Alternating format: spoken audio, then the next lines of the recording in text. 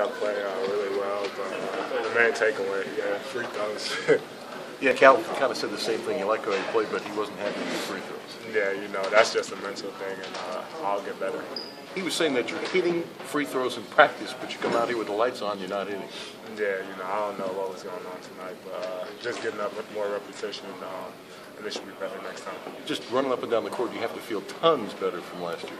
Yeah, I feel, I feel, I feel much lighter, um, and that's the main focus. The bigs have to run the floor because when you play with point guards like Tyler and Andrew, you'll get easy baskets if you want to. Is that thing with the free throws, is that a mental thing?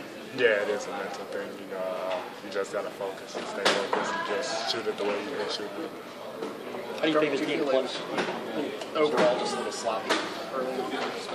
Yeah, you know, um, you know, this is our first game in front of people, uh, they said just treat it like a practice and scrimmage against each other. But uh, once we started competing, it was do you think the competitive? I mean, you guys were out there hustling, fighting for balls. Just talk about just the overall, just being out there on the court in front of everybody. Yeah, you know, uh, we got a lot of uh, competitive guys on this team that don't like to lose. So uh, when you put us on the court, we're just gonna compete against each other.